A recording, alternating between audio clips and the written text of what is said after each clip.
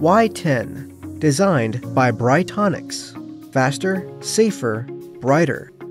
This film demonstrates the revolutionary teeth whitening process of BrightTonix Y10, a safe toothpaste with no harmful ingredients, precisely designed for synergy with radio frequency current. The first stage is to apply the whitening gel to the mouthpiece. The operator applies the mouthpiece with the toothpaste.